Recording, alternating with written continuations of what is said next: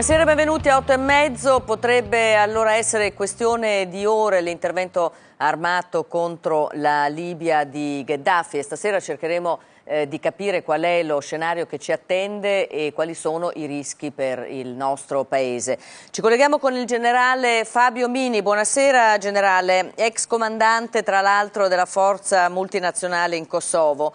È possibile a questo punto... Buonasera scatenare un conflitto eh, quando Gheddafi ha annunciato il cessate il fuoco?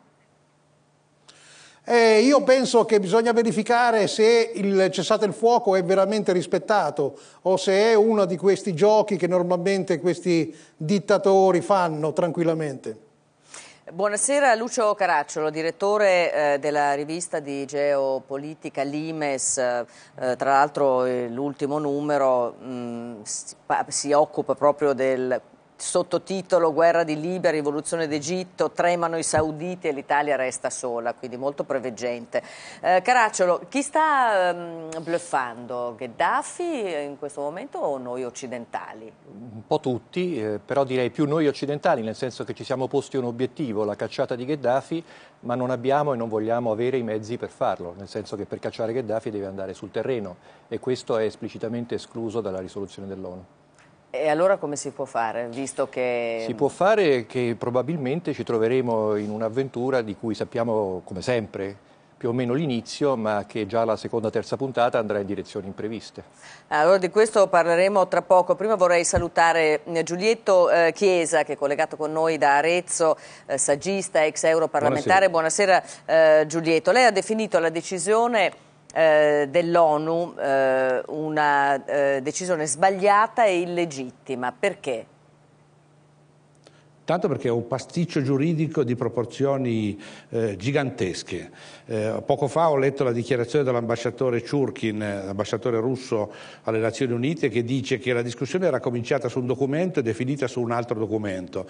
Eh, questa risoluzione consente praticamente a chiunque, allo stato attuale delle cose, di bombardare la Libia. A chiunque, perché non è stato detto a chi viene consentita questa operazione cosiddetta no-fly zone e autorizza a chiunque. Tu potete immaginare immaginare una situazione del genere in cui il Consiglio di sicurezza autorizza chiunque, sappiamo chi sono questi chiunque, abbiamo già visto la CNN come si stanno organizzando, sono Stati Uniti, eh, Francia, Inghilterra, questi chiunque hanno avuto il mandato di andare a bombardare un paese sovrano. Io credo che questo sia un errore tremendo, le Nazioni Unite hanno commesso un errore tremendo e qui non sto parlando della validità o della, dire, della decenza del regime eh, del regime di, eh, di, Tripoli. Sto dicendo semplicemente che la comunità internazionale in questo modo perde completamente ogni credibilità ed esce dalla legalità. Eh, Giulietto Chiesa, ma è chiunque meglio... l'abbia firmata è una, è una decisione illegale. Ecco, no, eh, solo eh, rapidamente, eh, allora era meglio comunque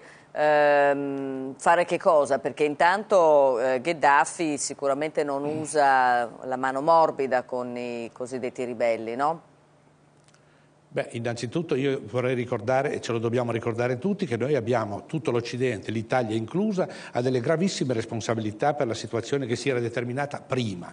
Quindi questo ci toglie ogni diritto di diventare gli arbitri di una situazione che abbiamo contribuito a creare. Quindi se si vuole porre la questione che cosa bisognava fare, bisogna porre la questione che cosa bisognava fare da prima.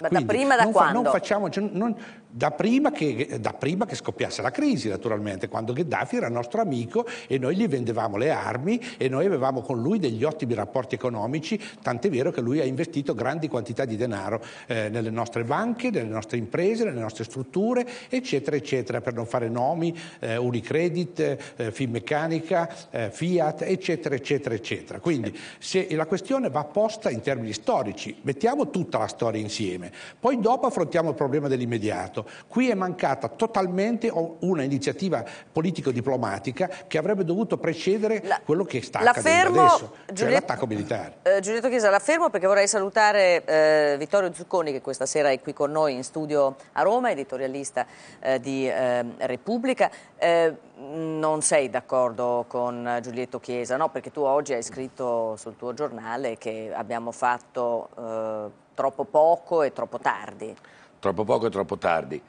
troppo tardi anche in senso storico, in questo ha ragione Giulietto Chiesa, ma Eh, se noi ci mettiamo a giudicare e a muoversi in base alle responsabilità dell'Occidente nei confronti, diciamo, del terzo mondo, beh, eh, non faremo mai più niente perché tutto il casino del Medio Oriente e dell'Africa è figlio nostro.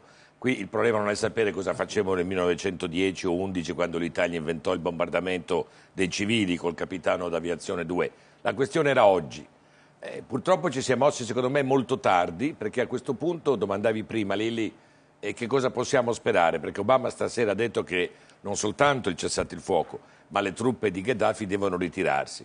Io credo, e abbiamo un generale qui ce lo potrà dire, che il vero destinatario del messaggio e della risoluzione non sia Gheddafi, la cui sorte comunque è segnata, no? sia l'esercito o quello che passa per esercito, perché l'esercito libico, che è semplicemente una forza di repressione un po' più armata, ma non è un esercito che abbia il rispetto di nessuno, a questo punto dovrebbe spaventarsi e dire non me la vedo più con quattro persone su un Toyota con la mitragliatrice sopra, ma me la vedo con i ragazzi grossi. E quindi se loro cambiano improvvisamente, come è avvenuto in Egitto, e scaricano il Rais, mm. allora si apre un capitolo eh, nuovo. Chiediamo subito al generale Mini se questa ipotesi è eh, probabile, perché finora abbiamo pensato che fosse abbastanza improbabile, no? perché l'esercito libico è un'entità un po' diversa da quello egiziano, per esempio.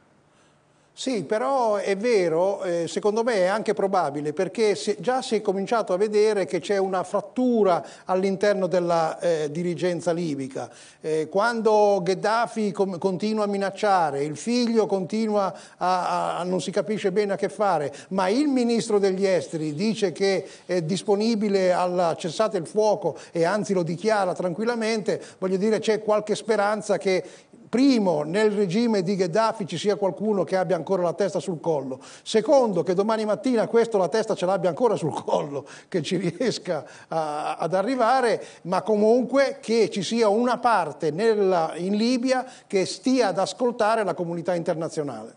Eh, senta, eh, generale, ma eh, lei ritiene probabile un attacco nelle prossime ore? E che tipo di guerra sarà? Ah, innanzitutto l'attacco ci sarà eh, esclusivamente se le, ehm, le, condizioni per poter fare il controllo della no-fly zone verranno violate e questo dipende soltanto eh, da, eh, da, Gheddafi e dalle sue forze. Quindi se gli aerei che saranno mandati, e questi partiranno fra poco, eh, per controllare la no-fly zone eh, pattugliando il, il, cielo sopra la Libia a seconda di due o tre orbite, eh, bene, se questi riusciranno a fare il loro lavoro tranquillamente non ci saranno interventi armati. Eh, se però a, già a livello verbale le minacce continuano e se c'è qualche piccola reazione da, da, da, parte della contraerea o degli aerei intercettori eh, di Gheddafi, ci sarà l'intervento armato sugli obiettivi a terra, sugli aerei e ci potrà essere il conflitto che è un conflitto come c'è sempre stato nelle fasi preliminari, cioè l'eliminazione di tutte le basi degli aerei che devono volare. Eh, Lucio eh, Caracciolo, lei è d'accordo con eh, l'analisi del generale Mini e che lei pensa che eh, Gheddafi e il regime si comporteranno in che modo adesso? Che viene istituita eh, questa mm, zona di eh, interdizione al volo, che per la verità non è che abbia, sia molto servita in altre situazioni, per esempio. No, francamente non sono d'accordo con l'analisi del generale Mini perché penso che l'operazione, come è stato detto da Gates, ministro della difesa americano, di no-fly zone non è un'operazione di osservazione, è un'operazione di attacco. Questo è l'inizio di una guerra, non è una, semplicemente una, un pattugliamento dei cieli. È chiaro che per fare la no-fly zone devi colpire ovviamente i radar, devi colpire la contraerea, devi colpire la dotazione missilistica per quello che c'è. Non è che puoi semplicemente, insomma, qualsiasi sì. operazione di no-fly zone seria comincia così. Né mi pare che questa risoluzione sia stata fatta semplicemente per, eh, così, per eh, costruire delle ipotesi teoriche, è stata fatta perché si vuole colpire Gheddafi. C'è una risoluzione precedente delle Nazioni Unite che dice chiaramente che Gheddafi se ne deve andare è da lì che bisogna partire, cioè da una decisione di far fuori Gheddafi, solo che non si vogliono trarne le conseguenze o non si possono trarne le conseguenze perché non si hanno i mezzi per farlo. Perché non dimentichiamo la situazione sul terreno, cioè sul terreno in quest'ultima settimana, dieci giorni, Gheddafi ha riguadagnato gran parte del territorio perduto e soprattutto abbiamo visto che dall'altra parte non c'è una vera forza armata. Sì, non c'è neanche un esercito credibile dal punto di vista di Gheddafi, perché non dimentichiamo, tutti stiamo pensando all'Iraq naturalmente, ma l'esempio No, è no. forse sbagliato. No, c'entra Cioè, niente l'Iraq. Non c'entra nulla l'Iraq, quindi tutto il problema è sapere se a questo punto come si risolve la questione Gheddafi. Ricordatevi che c'erano state voci di salvacondotti, ricordatevi che alla vigilia dell'Iraq tanti avevano detto ma se il problema è Saddam Hussein diamo un salvacondotto a Saddam Hussein, lo Infatti- mandiamo in esilio da qualche parte, ma lasciamogli anche il Grisbee, i soldi che ha rubato. problema- perché la problema- Libia, come tu sai, Lucio, è un paese potenzialmente ricchissimo. Eh, Sono 6 milioni e non mezzo di abitanti potenzialmente, seduti sul diciottesimo giacimento petrolifero solo- del mondo. Qual, Potrebbero... qual è il problema? No, lo Caracciolo? dico, non è solo potenzialmente, è il paese più ricco dell'Africa. Sì, no, la ma Libia. questa E poi da un poi punto di non- vista ecco. petrolifero, come Vittorio sa molto meglio di me, eh, sono molto ricchi, soprattutto hanno delle riserve ancora che dovranno essere s- scoperte Cioè, non riesco a sfruttate. vedere Lili una Ma guerra punto- tra noi e l'esercito libico o l'aviazione libica. Il problema è che l'esercito libico occupa la Libia e noi abbiamo detto in- con una risoluzione dell'ONU che non vogliamo entrare in Libia. L'ho detto anche Eh, stasera che da, eh, sì, Gheddafi. L'ha allora, detto però- Obama che non Ah, metteremo eh, vorrei- soldati. Ma Generale, sappiamo il generale che ne sa più Vorrei, sì, vorrei dire una cosa, che innanzitutto dobbiamo parlare e dividere le fasi. Qui siamo nella fase ancora dell'inizio della, eh, della- dell'applicazione della no-fly zone, il che significa che non è ancora la guerra. Sarà probabilmente, e tutte le, le esperienze precedenti hanno portato poi a questo, ma io vorrei ricordare che le no-fly zone ah, avvenute eh, con deny flight in Bosnia e Herzegovina e i 12 anni di no-fly zone sono rimaste allo stato così di pattugliamento, eh, mezza guerra, mezza non guerra per molto tempo. Per cui eh, in questa fase io eh. continuo a insistere. No, eh no, non c'è Eh, differenza. c'è una bella differenza, generale, Eh, lo sai meglio di me, perché nel primo caso eh, eh, c'era un accordo di fatto con Milosevic e nell'altro caso Saddam non controllava di fatto già il territorio su cui c'era la no-fly zone.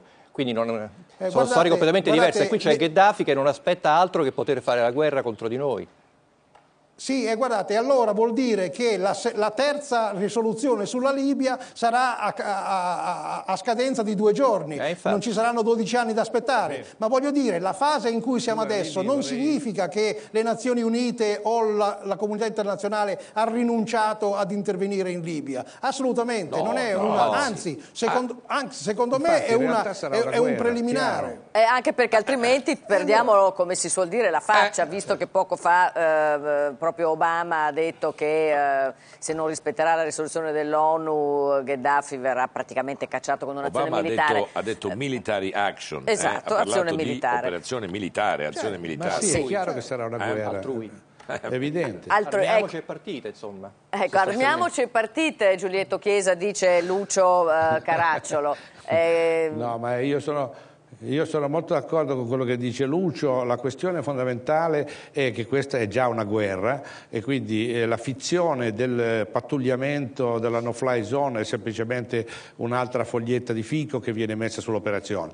L'operazione è squisitamente militare ed è funzionale a abbattere il regime di un paese sovrano, lo ripeto.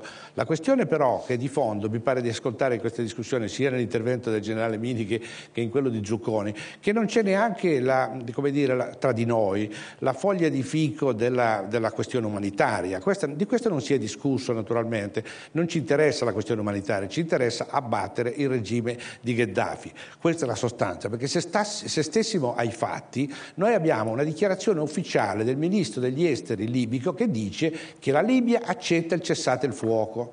Ora, di fronte a una cosa del genere, se avessimo un minimo di responsabilità umana, umana, sottolineo, e politica, noi proporremmo, quando dico noi dico la comunità internazionale, Internazionale. proporremmo una me- immediata verifica. Si va a verificare a Tripoli mandando una delegazione per vedere, come ha chiesto tra l'altro anche il ministro degli esteri libico, per ve- venite a vedere se noi proponiamo il cessate il fuoco, venite a vedere se uno vuole evitare lo spargimento di sangue, inizia un'attività diplomatica adesso e invece non se ne parla più di questa attività. Fino a ieri abbiamo è detto che dovevamo intervenire perché bisognava salvare i civili. Adesso invece parliamo di bombardamenti sulla ma Libia. questa è che si un'operazione stanno già per far fuori Gheddafi, Ma è l'obiettivo è rimuovere. Gheddafi, no, no, non- eh, se È- tu che è adesso apri la foglia di fico è perché vogliamo fare fuori Gheddafi. È ovvio, è l'operazione, però il, pu- il punto che io eh, sottolineo bravo, è è che così, bravo, si dicono delle cose Bravo, per i Vittorio, quali non si hanno i mezzi e forse Ma è nemmeno la giusto volontà per farlo fuori. farlo. Oh.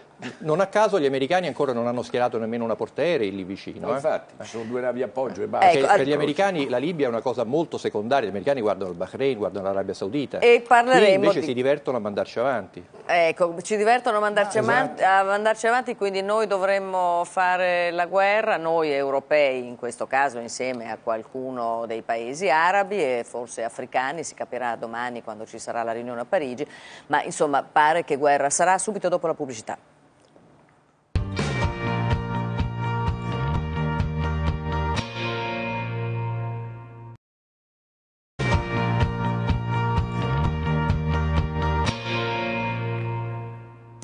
Allora cerchiamo adesso eh, di capire con il punto di Paolo Pagliaro eh, come si sta preparando l'Italia a quello che eh, secondo anche eh, gli ospiti eh, di 8 e mezzo questa sera sarà un conflitto armato mm, ormai praticamente certo, anche perché non ci scordiamo che il colonnello Gheddafi ha minacciato eh, di colpire obiettivi militari e civili in caso di attacco. Sentiamo.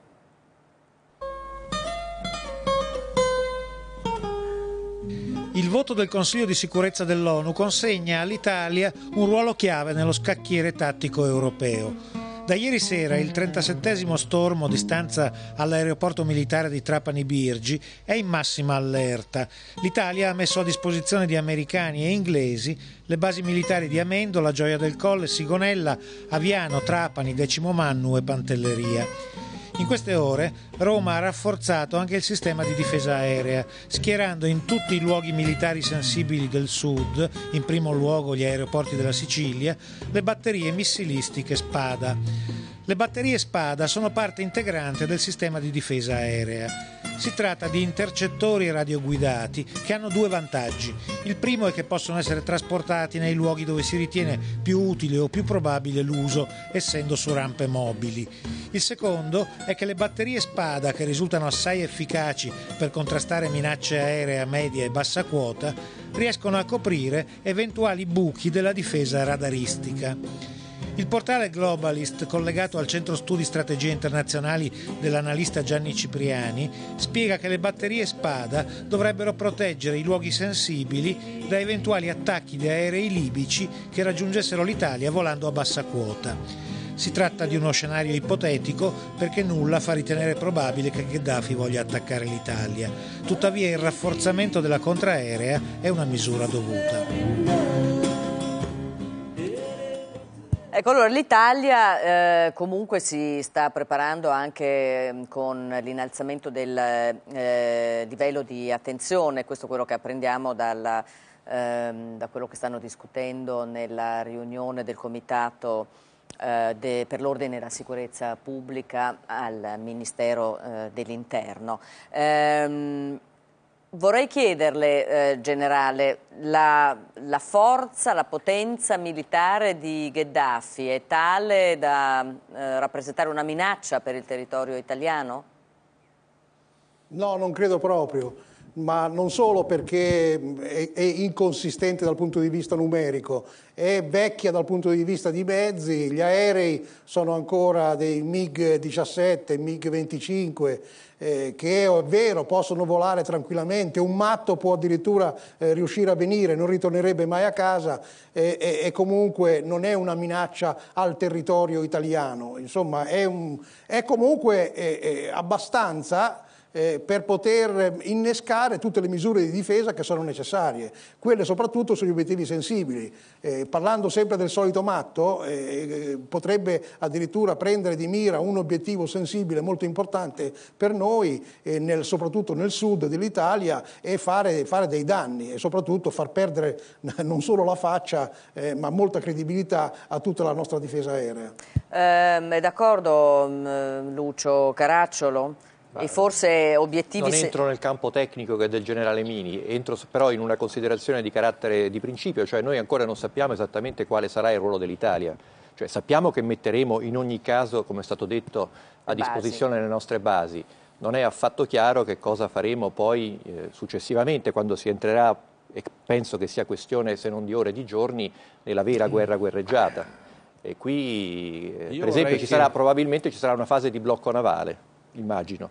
Nella fase di blocco navale lì forse Gheddafi qualcosina se Ah, la potrebbe Lucio- inventare. Lucio, Eh, scusami. Oggi peraltro è uscita una- un'agenzia eh, poco fa, eh, però insomma, non, non siamo in grado di verificarne la credibilità, in cui pare che mh, eh, Al-Qaeda eh, abbia fatto sentire la, la sua voce contro la risoluzione dell'ONU e dice che non bisogna fidarsi né degli americani e neanche della Eh, Nato. Al-Qaeda per fortuna è la grande sconfitta Sì. di tutta questa fase. Esatto. abbiamo, abbiamo capito finalmente quello che è Al-Qaeda, cioè un marchio che viene utilizzato da alcuni terroristi, da alcuni fanatici, ma non è assolutamente un soggetto è- politico o strategico di un qualche rilievo. E si è sconfitta anche tutta la- la- l'allucinazione dei primi anni 2000, Eh, certo. lo scontro di civiltà, eh, l'islamismo.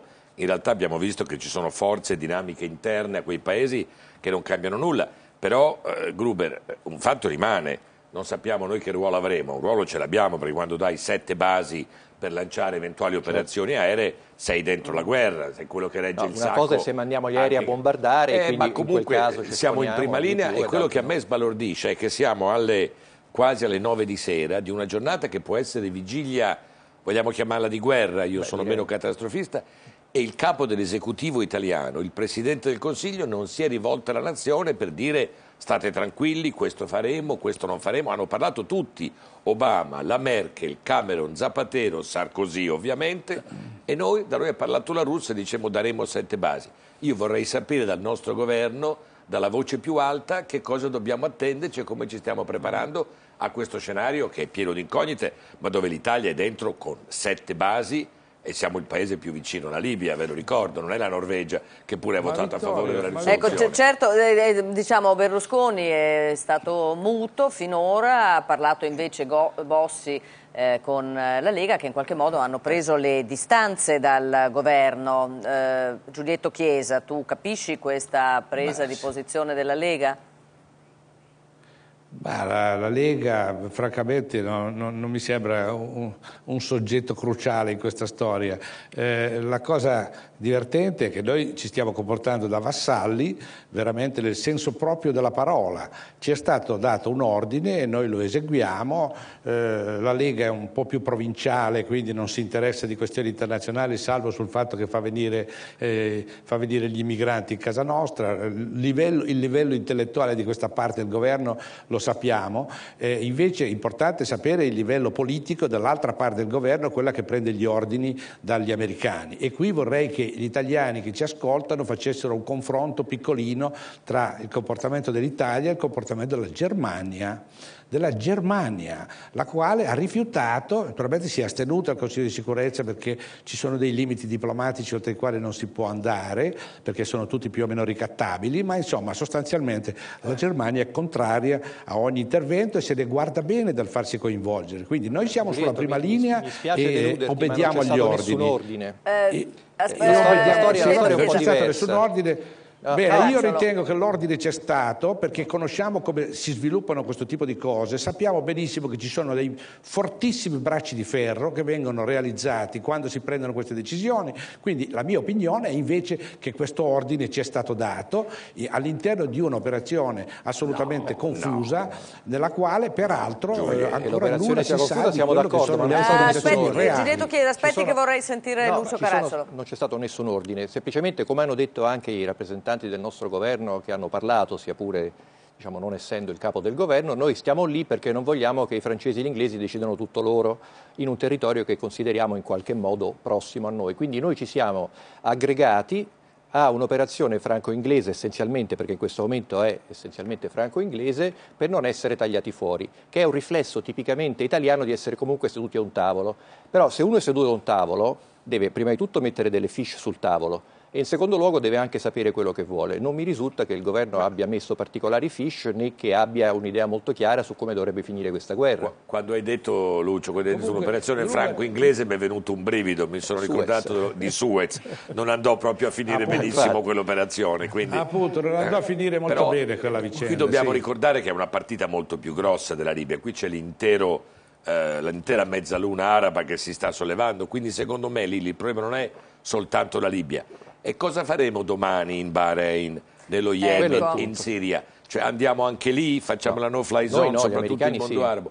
Ecco perché l'America è stata così esitante, non ci ha dato ordini Giulietto, perché Obama ha tirato così tanto i piedi prima di far finta perlomeno di lasciarsi trascinare da Sarkozy e da Cameron, perché non vuole essere in prima linea e non sentirsi dire domani, Insomma, ma viene anche in Yemen. Come co- giustamente Vittorio sottolinea il punto dell'Arabia, perché insomma tre giorni fa l'Arabia Saudita ha invaso un altro paese. L'Arabia Saudita non è che sia un regime più liberale di quello di Gheddafi, No, no, conosce, no? E non c'è stato assolutamente nessun, normalmente perché sarebbe strano che fosse così, non c'è stata nessuna protesta da parte di Ecco, nessuno. che ha mandato perché tutti sanno uomini che se salta... e mezzi nel Bahrain, no? che è un minuscolo Certamente. stato. Eh, spiego però... anche perché, perché il Bahrain, avendo una popolazione a maggioranza sciita, che dal punto di vista arabo-saudita vuol dire persiani nemici, eh, deve essere tenuto sotto controllo. E allora l'Arabia Saudita ha di fatto invaso questo paese. Nessuno naturalmente dice nulla, ma per una ragione molto chiara che se salta l'Arabia Saudita, a differenza della Libia, saltiamo in aria tutti quanti, cioè è uno shock globale nel senso che salta il principale forziere energetico del Cioè, non più mondo. petrolio, non più nucleare, è la Ecco. volta che andiamo a piedi Il finalmente. generale Mentre la Mini Libia, è, d'accordo se salta l'Arabia Saudita e dintorni, saltiamo tutti? Certo.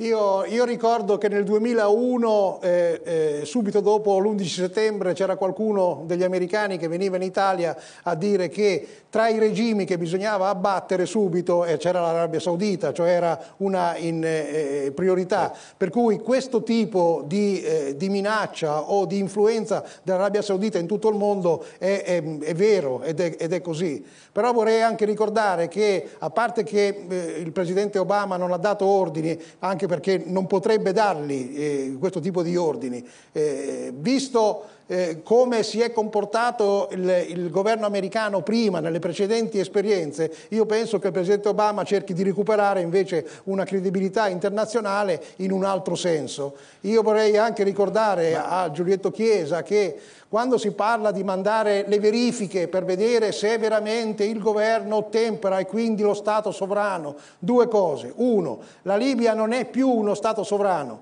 Nel momento in cui le Nazioni Unite hanno deciso che i suoi aerei non possono volare sul suo territorio, la sovranità libica è finita. Per cui adesso stiamo ragionando di un altro, vedendo un altro film. Secondo, le verifiche. Noi in Kosovo abbiamo mandato una missione di verifica, la quale è stata, è stata il pretesto ed è stata la causa della guerra per- contro, contro la Serbia, perché quella missione di, di verifica eh, diretta da un ambasciatore che si chiamava Walker in pratica ha fatto scatenare eh, eh, il- il pretesto per eh, un massacro Ricordo che poi fra benissimo. l'altro non è mai esistito, che è quello di Racciac. Quindi Ricordo tutte benissimo. queste misure dovrebbero essere viste eh, eh, non solo sulla parte storica, ma dalla parte anche di esperienza operativa. Noi oggi ancora non siamo in guerra, probabilmente ci arriveremo, ma ancora non siamo in guerra, ancora ci sono molte misure Generale da assaggiare.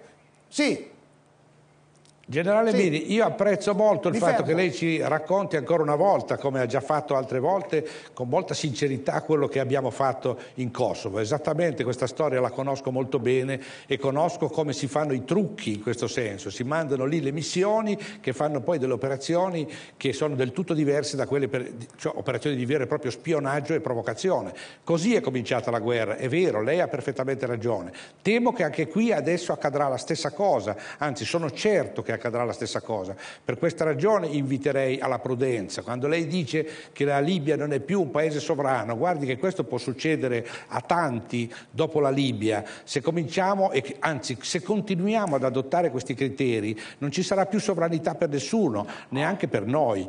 E già che ci sono, Magari. mi permetta di fare, di- mi permetta di Rapido, fare un piccolo- una piccola annotazione. Sì, veloce, veloce. L'Arabia Saudita è eh, la prova provata della insincerità americana e occidentale, perché quel regime che sta in Arabia Saudita, che è il colmo dell'antidemocrazia, è quello che compra il debito americano da decenni e gli americani di quel debito hanno un bisogno straordinario, perché se no vanno in bancarotta tecnica nello spazio di poche settimane, avendo già perduto Giulietto gli Chiesa. acquisti dei sempre colpa cinesi. dell'America, è sempre se- colpa dell'America. Giulietto, No, non sempre sempre colpa dell'America. L'America no, no, è ma aspettate che siamo in chiusura. L'America è l'impero che sta sì. crollando, eh, non lo vedi, non eh, lo allora, vuoi vedere. certo sei che lo York, è l'impero che sta vederlo. crollando l'America. Nel Mediterraneo sicuramente l'influenza americana York, sta te lo vedi da solo, eh. te lo vedi da solo ecco, che eh, questo impero sta crollando. Valla a vedere. Allora, Zucconi è d'accordo su questo, che l'impero no, americano sta vacillando, sta, vacillando. crollando. Vorrei chiudere con uh, Lucio Caracciolo. Allora, l'impero americano sta vacillando, noi siamo alla vigilia di un conflitto armato, questa è l'unica cosa che abbiamo capito. Tra le conseguenze no. che eh, l'Italia si ritroverà a fronteggiare eh, c'è anche quella di gestire migliaia di, di profughi? Allora, innanzitutto sperando sempre che il generale Mini abbia ragione, ma non credendo che abbia ragione, è chiaro che se comincia una guerra in cui noi siamo più o meno coinvolti, poi alla fine comunque finisca questa guerra, noi siamo in una posizione certamente peggiore di quella in cui eravamo un, mese fa. Insomma, chiaramente non è che la Libia cade Gheddafi e arriva un signore di Westminster a governarla, no, nella peggiore delle ipotesi c'è una guerriglia permanente di qualche anno, eh, nella migliore ci sarà un altro signore probabilmente non molto più aperto e liberale, ma mi pare molto difficile a questo punto rimettere la Libia insieme. Non dimentichiamo che la Libia è un'invenzione italiana. Qui stiamo parlando essenzialmente di territori come la Cirenaica e la Tripolitania, storicamente diversi, storicamente ostili, eh, le partite di calcio fra eh, Bengasi e Tripoli finivano sempre con morti e feriti, quindi non è che sia una cosa inventata nell'ultimo quarto d'ora del tempo, quindi dovremmo fronteggiare una instabilità piuttosto diffusa nella, nella zona. Beh, e sicuramente noi di 8 e mezzo dovremo fare ancora eh, molte puntate su questi temi. Io intanto ringrazio, ringrazio il generale Mini, ringrazio Giulietto Chiesa, ringrazio Vittorio Zucconi, grazie Lucio Caracciolo, grazie, alle telespettatrici e agli spettatori e do senz'altro la linea a Daria Bignardi alle sue invasioni barbariche. Noi ci vediamo come sempre lunedì 8 e mezzo. Arrivederci.